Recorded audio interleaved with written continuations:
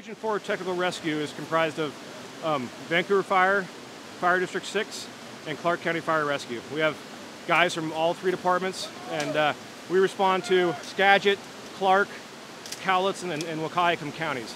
We cover uh, rope rescue, water rescue, trench rescue, confined space rescue.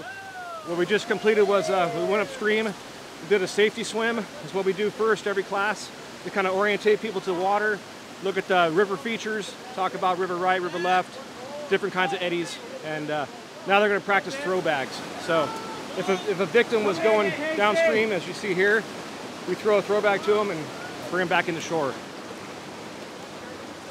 Okay, we got some other ones.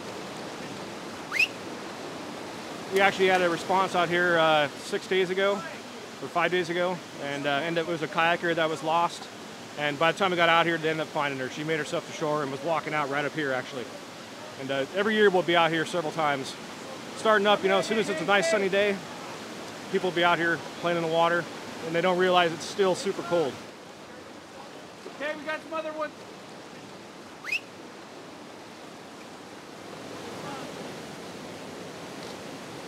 There's some things we do that is uh, low frequency, low risk, a throw bag operation like what you were seeing earlier. But uh, this is one of those things that's high risk, low frequency.